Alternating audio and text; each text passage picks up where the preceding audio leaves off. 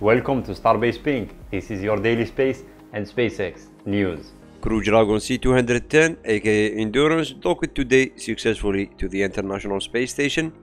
This live view captured from Dragon camera using Starlink.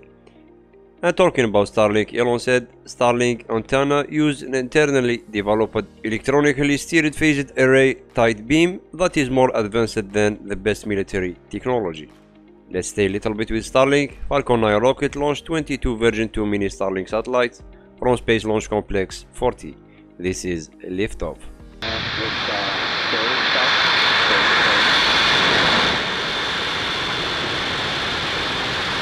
Stage separation and second stage engine ignition.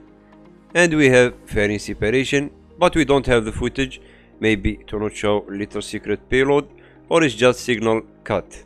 Either way, we have Falcon 9's first stage landing on just the instructions drone ship for the first time.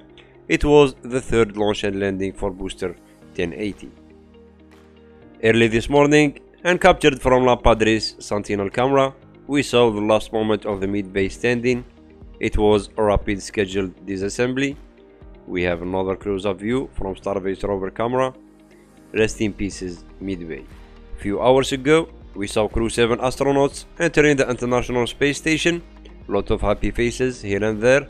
First time for Jasmin Moghbeli and Konstantin Sergeyevich. And the second space flight for Andreas and Satoshi.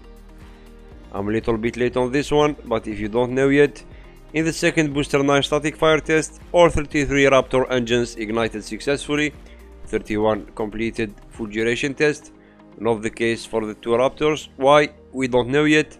If we play it in slow motion, we can see the shockwave moving up strongly after ignition. I don't know if this has nothing to do with shutting down two Raptors, but for sure with many static fire tests and launches, we will have some cracks and damages under the water deluge system just from these ignition moments of 33 Raptors. It's like a huge hammer hitting the ground.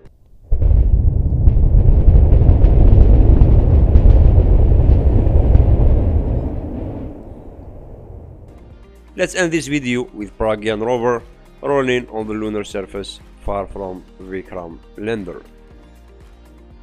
That's it for now. This is the end of this episode. See you tomorrow.